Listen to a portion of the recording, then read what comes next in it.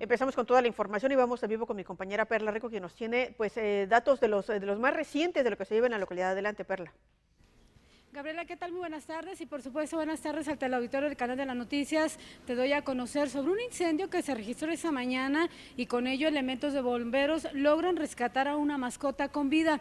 Esto sucedió a las 6 de la mañana con 40 minutos en el cruce de las calles General Luis Ibarra y Elisa Greinsen de la colonia Revolución Mexicana. Datos revelados por el director general de Protección Civil, Fernando Mota Allen, menciona que fueron alertados por los afectados a través del Centro de Respuesta inmediata el SERI 066. Al lugar arribaron elementos del cuerpo de bomberos con las máquinas número 14 y 29 para lograr así sofocar, sofocar este siniestro. De manera preliminar, el peritaje, Gabriela, sería una sobrecarga eléctrica, lo que provocaría el siniestro que dejó como daños totales dos recámaras de esta vivienda. No hubo personas lesionadas, solo se reporta un gato de la familia quien presentó quemaduras. Igual ahí vemos en la pantalla, Gabriela, justo cuando los elementos de bomberos trataban de revivirlo porque bien se menciona que estaba eh, sofocado obviamente por el humo, pero eh, se menciona que traía ya quemaduras de primer y segundo grado, es decir, lesiones en las orejas, bigotes,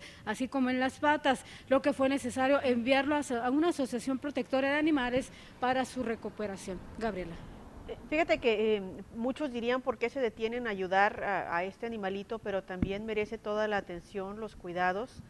Eh, y, qué bien por el departamento de bomberos que se sensibilizan, ¿no? Finalmente, pues este animalito eh, no pudo salir, quizás estaba dormido, los incendios son eh, fenómenos en los que muy pocas personas realmente pueden accionar o reaccionar, igual los animalitos.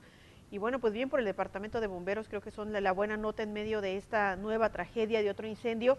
Y bueno, pues desafortunadamente las preguntas de siempre, si son conexiones eléctricas que están mal, pues, eh, ¿por, qué, ¿por qué se hace así? ¿Por qué se termina exponiendo la vida de esta manera, Perla?